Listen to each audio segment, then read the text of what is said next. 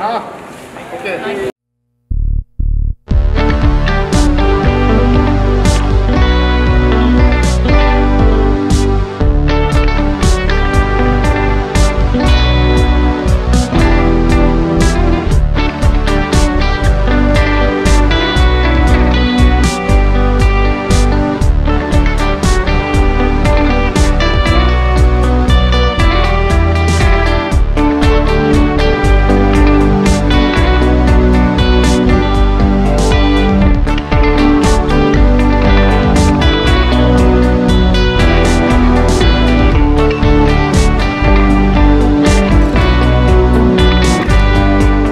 Definitely जब हमें खबर आई थी तो हाँ सब लोग बहुत इमोशनल हुए थे और रोना धोना हुआ था।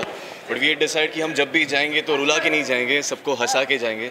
जो डेढ़ साल से आप सबने हमें जो प्यार दिया है, वो प्यार फिर से आप सब के लिए लुटा के जाएँगे। And this is our way of saying thank you to all our fans all our viewers जिन्होंने हमें सपोर्ट किया and who been a part of this beautiful journey with us so thank you thank you so much all of you mix emotions है।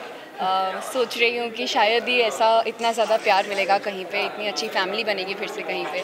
So we'll all be very thankful and grateful to Rajshri to G T V to our fans for giving us so much love पूरे P अलवेला team की तरफ़ से बहुत बहुत बड़ा thank you पहले दिन से लेके आखिरी दिन तक हर दिन मेमोरेबल रहा है।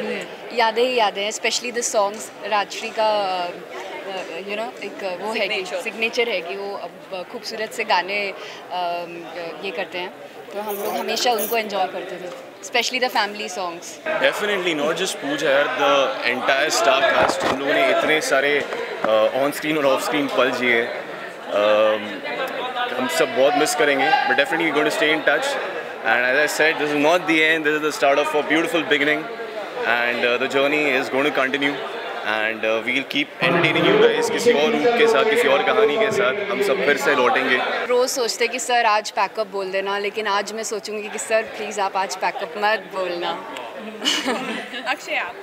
I think I am miss a lot of things but yeah this beautiful set has been a very important part of my journey so मैं सेट को डेफिनेटली बहुत मिस करूँगा। I am going to miss everybody the set all my coactors Naren and Pooja they were the best in the show and uh, I think it's going to be very, very difficult for us, for all of us, to control our tears.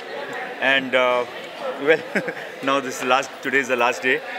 I don't know. There are hundred things we, we are going to miss. It was a wonderful journey, and uh, these one and a half years were going to remain in our mind and heart for the rest of our lives.